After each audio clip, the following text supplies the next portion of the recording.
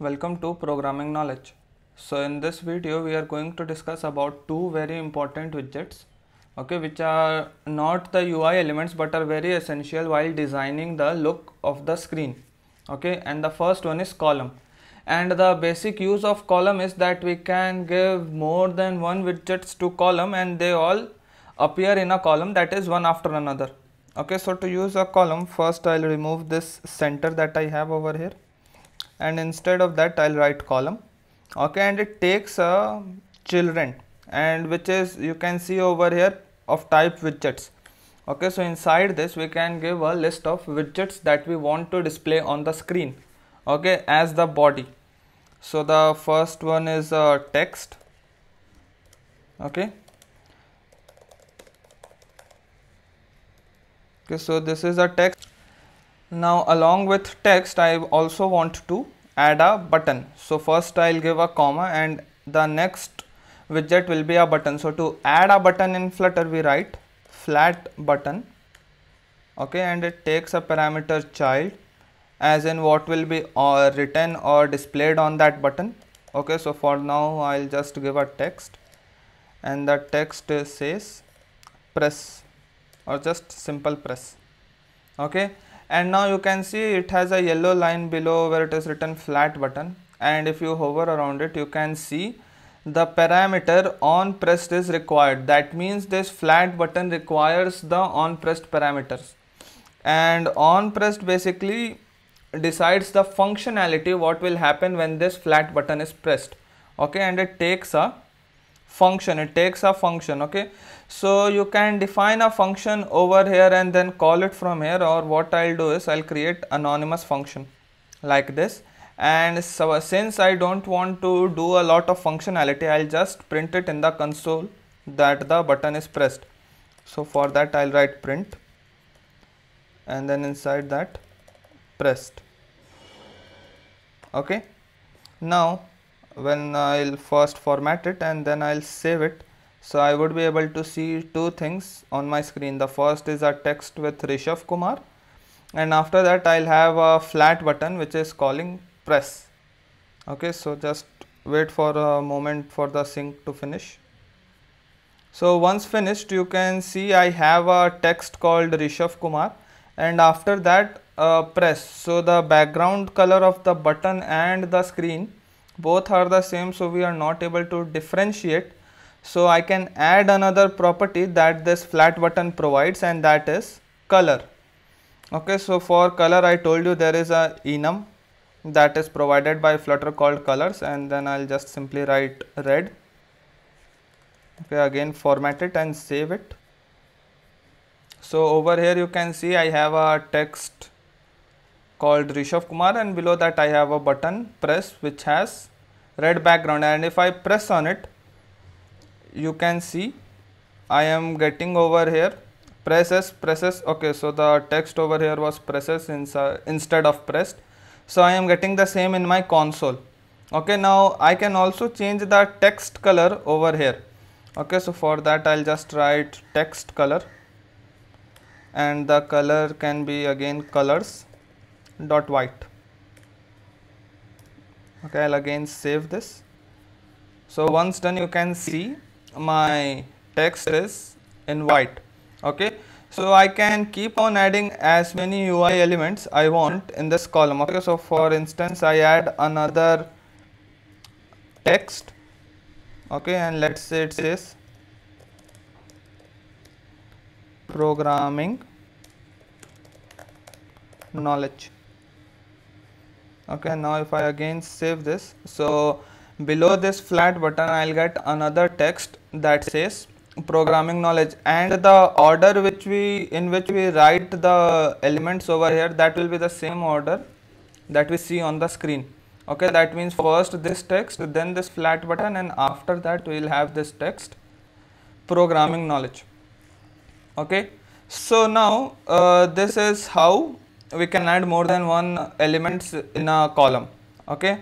Now suppose I don't want this column to be over here but instead I want it to be inside the center okay? So then we have a parameter that this column takes and that is called main axis alignment okay? And for the column the main axis is the vertical axis and the, it takes and it also has an enum that is main axis alignment okay and then if you enter dot you can see all the options.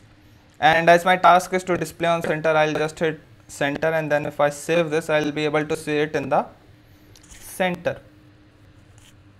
So now you can see it is in the center. Now if you want you can also try different types of main axis alignment that is in this enum. So I'll again hit the dot and let's try end. Okay so now if I save this let's see what happens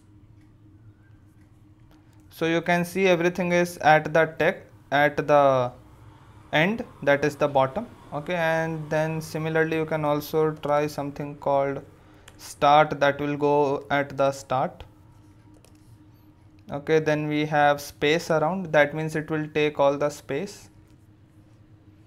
So you can see the entire height has been covered by three widgets and basically two text and a button. Okay so this is called space around and then we also have space between.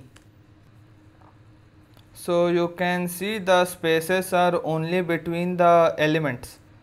Okay that means uh, below this programming knowledge we don't have any space and above this Rishabh Kumar we don't have any space. But the space is only between the elements. Okay so this is how we can play with the alignment of the columns. For now I'll make it center okay and then comma. So now the text will be in center okay so now you can see the text is again in center but you can see it is only the vertical center and not the horizontal center. Okay so there are two ways to bring it in the exact center. Okay so as I told you the column has main axis alignment as vertical axis and the cross axis alignment is the horizontal axis so along with main axis alignment you also have a cross axis alignment. And over there you can write cross axis alignment which is also in enum dot center. So then again it will be in the exact center. And the other way to do is to wrap this entire column by a center widget. Okay so you can do it manually by creating a center. And in the place of child we will pass this whole column or easier method is to go to code preferences and keyboard shortcuts and in the shortcuts look for cent uh, refractor okay? So you will get a certain key binding for the refractor okay? In my case it is control shift r. So if i press control shift r i get the options wrap with widget wrap with center wrap with column okay? And similar to that so i'll just wrap with center okay and you can see it automatically adds a center and the child becomes the column. And now if i'll save this i would be able to see the entire column in the center. Okay so here you go. The everything is in the center. Okay so now similar to column we also have a row. Okay so for to demonstrate that i'll just copy all the children that i have over here. Okay and instead of a column okay i'll also need to remove this. Instead of a column I'll have a row. Okay so as you can understand by the name row adds one element after another towards the right means starting from left towards the right.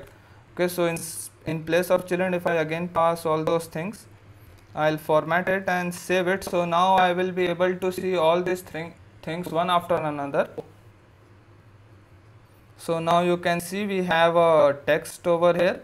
And after that we have this button and then the programming knowledge text. And if I again click on this press so the console is again logging presses. Means the functionality is fine.